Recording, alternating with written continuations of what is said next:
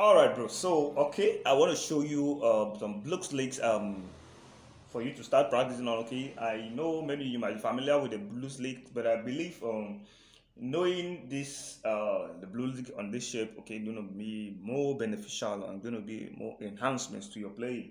Okay, because mostly I use the blues in improvisations. Okay, though I depending on uh, the positions and in the and and the, and the intervals I'm playing on. Okay so let me show you the key of G. This is the key of G, like you know.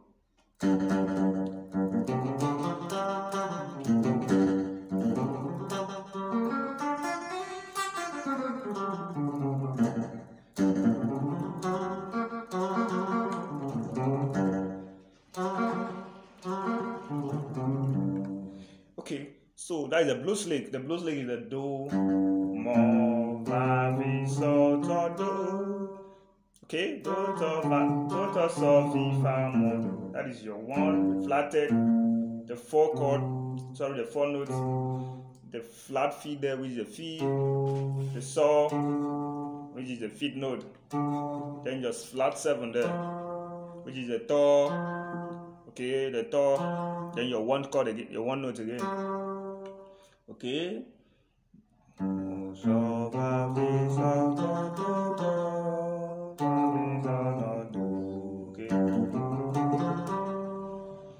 So you can play downward from the oh, okay.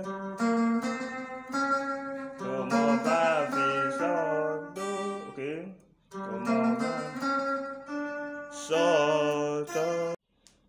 Okay. So,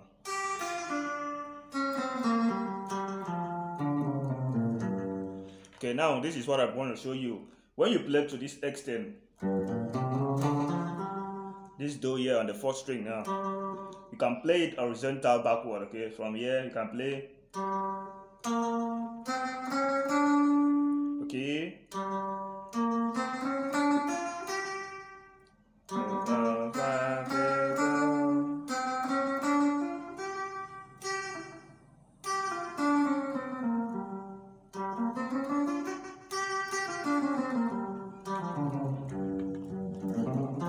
So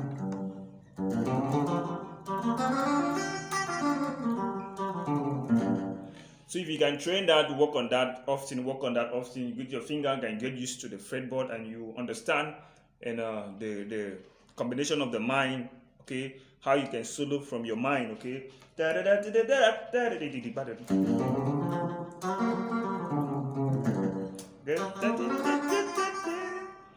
Okay,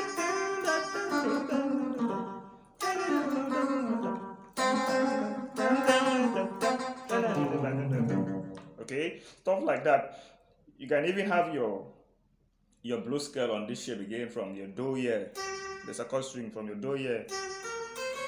Okay. Sorry.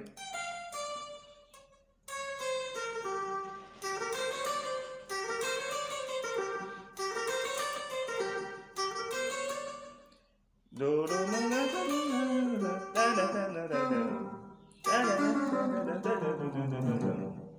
Okay, stuff like that. You can keep practicing that. Okay, working on, working on, work on it up and down, work on it up and down.